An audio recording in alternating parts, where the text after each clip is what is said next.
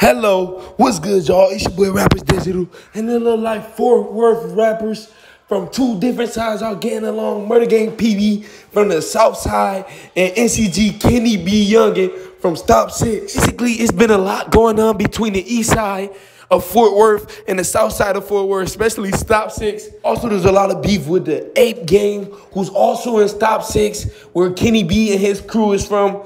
So basically, Kenny B basically didn't follow behind the eight Gang crew, and his crew chose their own path and called truce with the South Side. We gonna go ahead and get into this video. Like this video, subscribe, turn your post notifications on. You already know we out ha.